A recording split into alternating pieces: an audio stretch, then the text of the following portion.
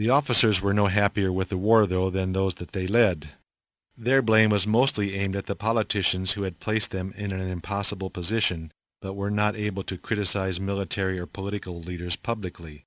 Still, on rare occasions they did make their opinions known. One of these was a spoof interview of an Air Force pilot called What the Captain Means, made by two officers of Cam Ranh's 12th Tactical Fighter Wing. Recorded in 1966, it was far ahead of its time. The following segments were recorded when a civilian correspondent interviewed a shy, unassuming Air Force Phantom jet fighter pilot. So the correspondent wouldn't misconstrue the pilot's replies. The wing information officer was on hand as a monitor to make certain that the real Air Force story would be told. The captain was first asked his opinion of the F-4C Phantom. It's so fucking maneuverable you can fly up your own ass with it.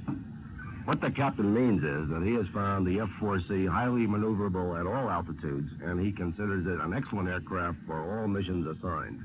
I suppose, Captain, you've flown a certain number of missions in North Vietnam. What did you think of the SAMs used by the North Vietnamese?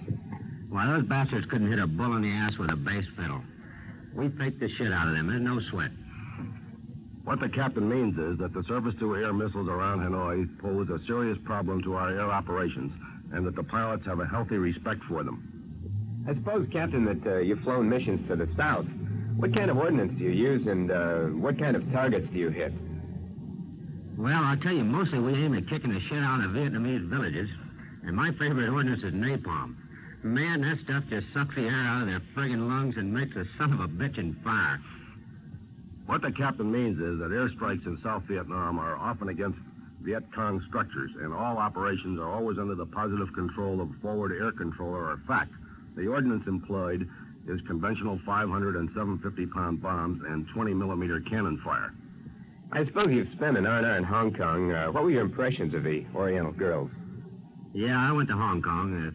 Uh, as far as those Oriental broads, well, I don't care which way the runway runs, east or west, north or south. A piece of ass is a piece of ass. What the captain means is that he found the delicately featured Oriental girls fascinating, and he was very impressed with their fine manners and thinks their naivete is most charming. Tell me, Captain, have you flown any missions other than over North and South Vietnam? You bet your sweet ass I've flown other missions, uh, missions other than in North and South. We get fragged nearly every day for uh, those fuckers over there throw everything at you, but the freaking kitchen sink. Even the goddamn kids got slingshots. What the captain means is that he has occasionally been scheduled to fly missions in the extreme western DMZ, and he has a healthy respect for the flak in that area. I understand that uh, no one in the 12th Tactical Fighter Wing has got a MiG yet. Uh, what, what, seems to be the problem?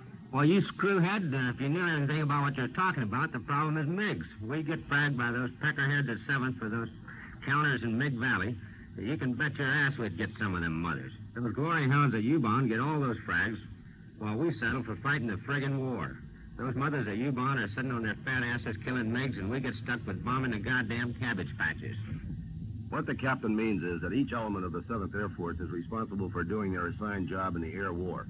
Some units are assigned the job of neutralizing enemy air strength by hunting out MiGs, and other elements are assigned bombing missions and interdiction of enemy supply routes.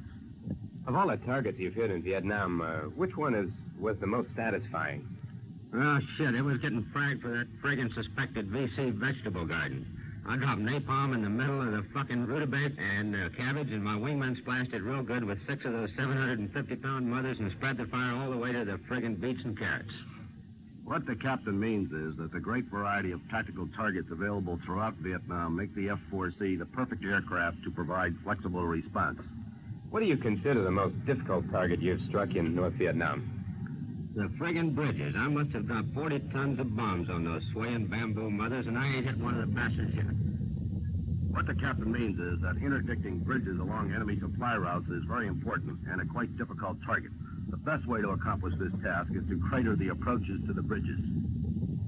I uh, noticed in uh, touring the base that you have aluminum matting on the taxiways. Would, would you care to comment on its effectiveness and usefulness in Vietnam? You're fucking right I'd like to make a comment. Most of us pilots are well hung, but shit, you don't know what hung is until you get hung up on one of those friggin' bumps on the goddamn stuff.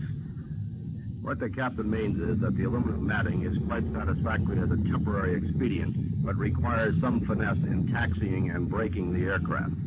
Did you have an opportunity to meet your wife on leave in Honolulu, and uh, did you enjoy the visit with her? Yeah, I met my wife in Honolulu. But I forgot to check the calendar, so the whole five days were friggin' well combat proof. A completely dry run.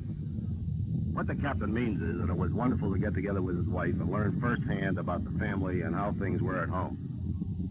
Thank you for your time, Captain. Screw you. Why don't you bastards print the real story instead of all that crap? What the captain means is that he enjoyed the opportunity to discuss his tour with you. Uh, one final uh, question. Uh, could you reduce your impression of the war into a simple phrase or a statement, Captain? You bet your ass I can. It's a fucked up war. What the captain means is it's a fucked up war.